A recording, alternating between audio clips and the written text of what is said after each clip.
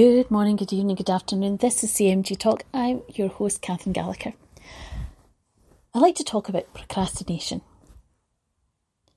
What happens in life when we delay, put off, avoid? And why do we do that? Can you think of something to snow or something that you have put off? Some people avoid at all costs making those important decisions. Now, it might be because what if I get it wrong? It might be because we don't feel well informed. It might be because we're doubting ourselves, procrastinating and putting things off. I'll do it tomorrow. I'll do it later. Maybe it's not for me to do. Maybe it's not that important. Maybe it can wait. How many times do we find ourselves delaying and putting off?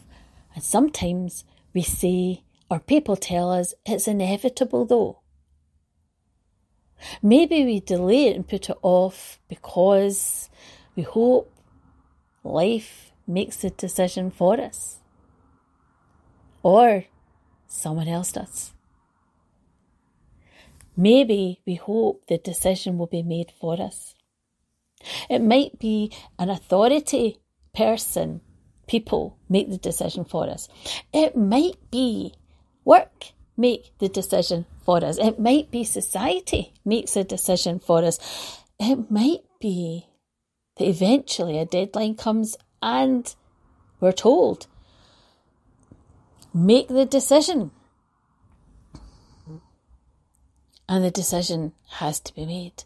But often we delay and put off. But what cost to ourselves? when it's in the back of our mind, because it usually is, ruminating, rumbling there in the back of our mind. Do you know the decision you really want to make? Do you flip flop back and forth? Maybe this, maybe that. Do you say, I'm going to do it? This is what I'm going to do.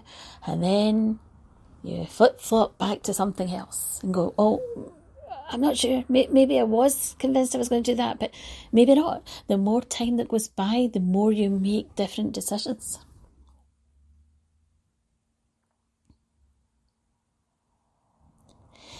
Is it not okay to make a decision and be able to say later, I made the right best decision for me at that time with the information I knew? Life is about choices. Life is about choices. When people come to me often, they'll say, I know, but if I make that decision, what if it's wrong? But what if it's right? What if it's the best decision you've ever made? But that's not what people think about, isn't it not? Remember, our brain is programmed to focus on the negative. We don't look at, oh, if I make this decision, it could be the best decision ever. No, what holds us back, what keeps us procrastinating is we're imagining worst case scenario. What if I get it wrong? What if it doesn't work out?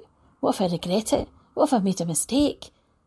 Internal dialogue, limiting self beliefs, not believing in yourself, not trusting in your intuition, not believing that you can make the decision that's best for you. If you're well informed and you're writing down the pros and cons, and you're understanding the decision you're making and why you're making that decision, you're not able to say to yourself, This is the decision I'm making because it's the best decision with what I know. And if I look back on it, I'll say it's the best decision I knew with what I knew. It's different if we're being reckless, careless. It's different if we are jumping to a decision without really thinking it through. That's different. But if we've really thought it through, and it's not been a knee jerk reaction, that's it. I'm done. I'm out. I'll just do that. The pressure's too much. I can't cope with it. I'll just do whatever. I'll just close my eyes. Eeny, meeny, miny, mo. Just whatever comes to mind, comes to hand. Some people do make huge decisions in that premise. Write it down, close my eyes. Oh, right. Eeny, meeny, miny. That's a big risk. if it's calculated, if it's well thought through, if you've taken an adult based decision, if you know if something is good, healthy for you, is working for you, is it allowing you to be the best version of you? Is it helping you to move forward in life? If it's not, then why are you holding on to it in the first place? Procrastination. Am I ready to make the decision? Am I ready? Or am I holding on and keeping where I am because I'm just not ready? Am I just delaying it because you know what? I just can't be bothered? Or is it because I'm having too much fun where I am already? But it's the impact it has not just on us, because it can have an impact on other people. If you're delaying and procrastinating moving on and moving out, if somebody's had the, the good enough grace to put us up in living accommodations, but we've outstayed our welcome, that's a different matter. Because we end up sabotaging, don't we? We end up making decisions that are actually not healthy for us and certainly not good for people around us.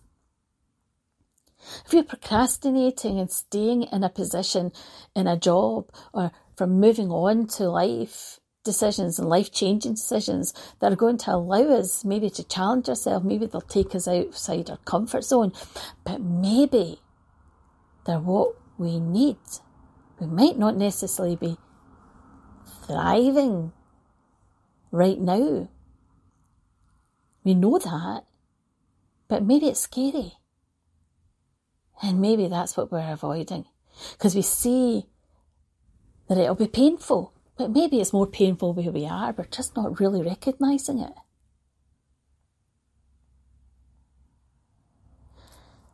Being able to see things as they really are and being able to recognize that hard work and putting the effort in and being prepared to take that leap of faith, being able to understand that Life is what we make it.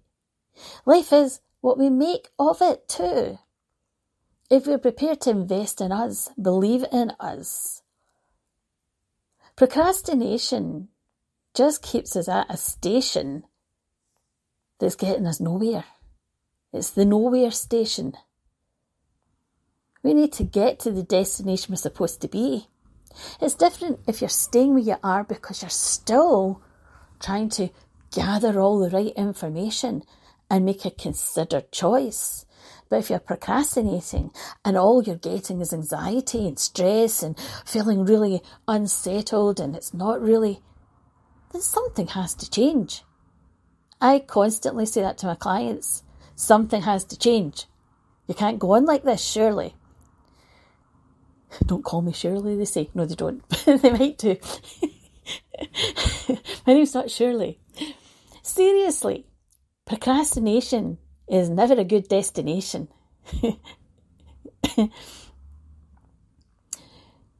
Ask yourself, what destination do I really want to head to now?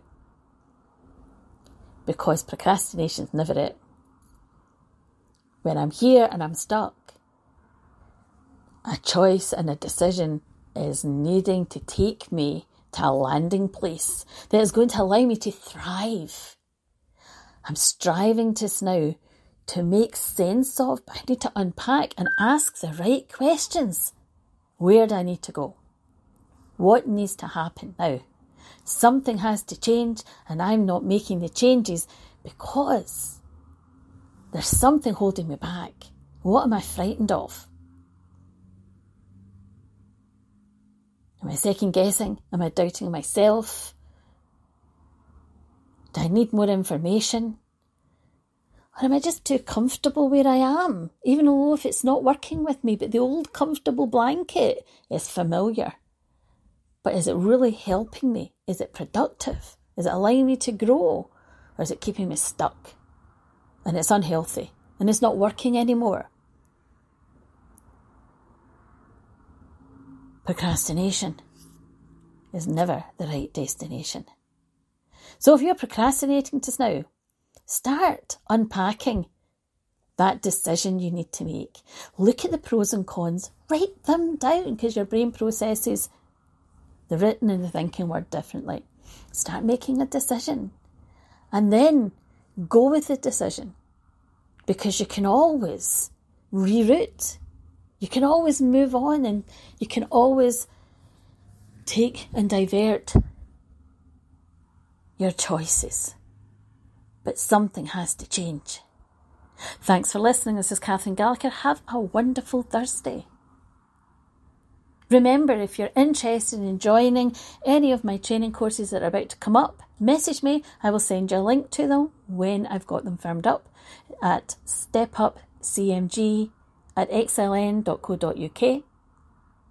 Have a great Thursday as we're nearing the weekend. Remember to make the most of every day and find gratitude as you go along each day too. Be grateful for things that come along because there's always good things in a day. This is Catherine Gallacher, CMG. CMG Talk. Bye for now. Until next time. More talks to come.